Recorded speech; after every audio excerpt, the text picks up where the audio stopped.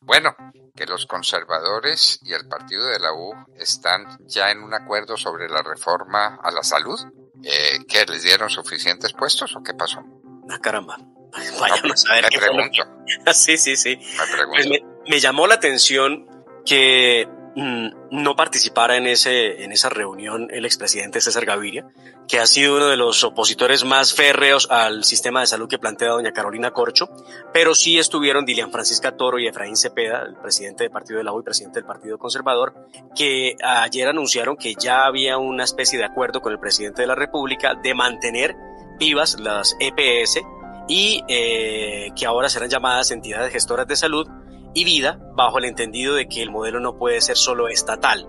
Ellos creen haber logrado, haber convencido al presidente y a la ministra de no estatizar el sistema de salud y mantener pues ese sistema mixto que ya hoy existe en Colombia y que eh, desaparecería según el proyecto de ley que ha presentado Carolina Corcho. Bueno, Carolina Corcho que dice que si las cosas esenciales, y me parece que una de las esenciales que ella persigue es la desaparición de las EPS, eh, se saca del proyecto que lo mejor es hundirlo. Sí, sí, señora, así, así, así lo ha dicho. No entendemos qué va a terminar eh, de pasar. Y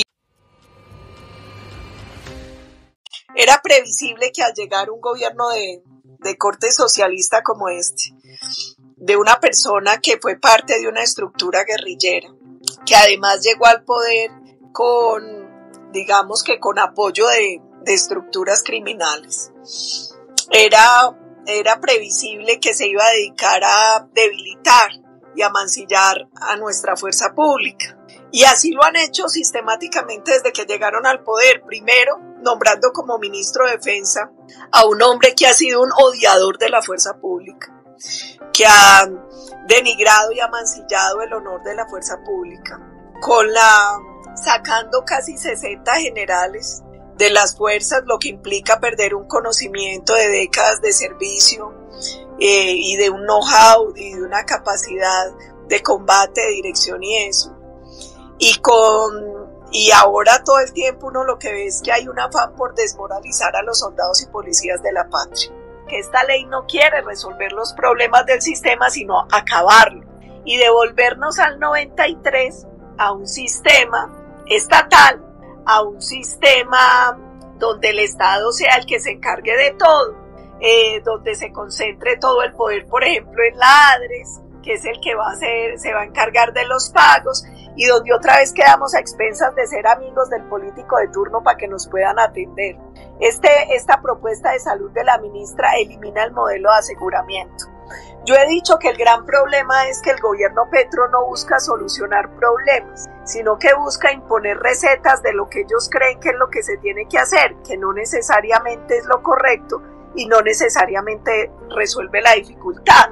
Entonces ellos dicen es que el problema de salud son las EPS, no, no son las EPS. El problema del sistema de salud es la corrupción. La primera preocupación es si es legítimo el gobierno de Petro para negociar con las estructuras criminales. Y yo me atrevo a hacer esa afirmación porque cuando se conoce la información sobre el pacto de la picota, la posible financiación de narcotraficantes, la influencia del clan del Golfo, del ELN y de la FARC en la elección de Petro, la pregunta que uno se hace es el gobierno Petro a quién representa y si es legítimo para estos procesos de negociación con estas estructuras que le permitieron llegar al poder. No se derrota al que no se rinde. Nosotros no nos hemos rendido y no nos han derrotado.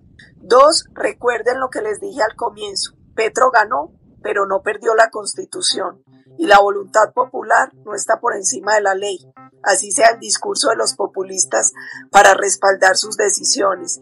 Y tres, hoy más que nunca, tenemos que estar unidos en torno a unos fundamentales para lograr el poder local y sobre todo para garantizar que vamos a mantener a Colombia como una democracia vigorosa que defiende las libertades, que respeta la institucionalidad.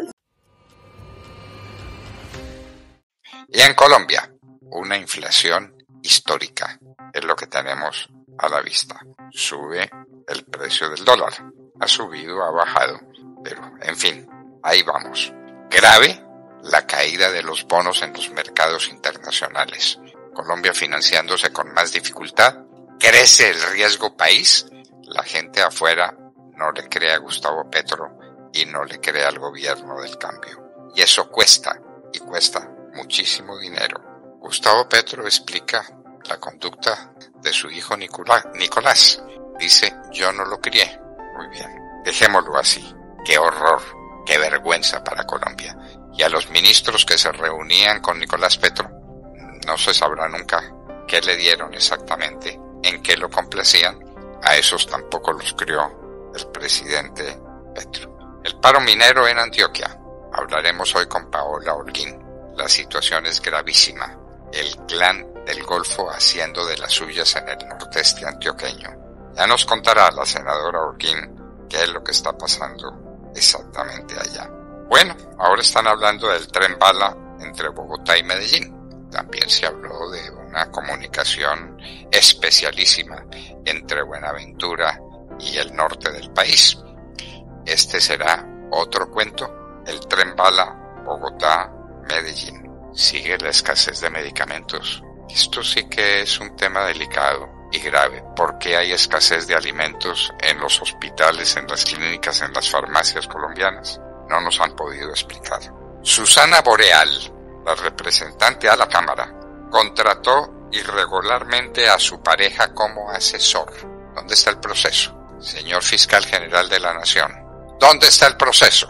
Señores presidentes y vicepresidentes de la Cámara de Representantes, ¿esto qué es? Una representante a la Cámara contratando en la UTL a su compañero sentimental y dándole ventajas contratándolo irregularmente. ¡Qué horror! Proceso de paz de Petro con Iván Mordisco, de las FARC. Entonces ya es el ELN por una parte, en un proceso que ya terminó su ciclo en México en nada, en nada, y que ahora empieza su nuevo ciclo en Cuba. Pero ahora entonces empieza con Iván Mordisco. Distraer la atención, llamar la atención, la paz total, y de esas organizaciones como las de Iván Mordisco, parece que hay como 50 en Colombia. Dios nos libre. Mesa de concertación para reforma laboral y pensional. Cuidado, cuidado con esa reforma laboral y con esa reforma pensional. Bombas atómicas sobre la estructura social del país.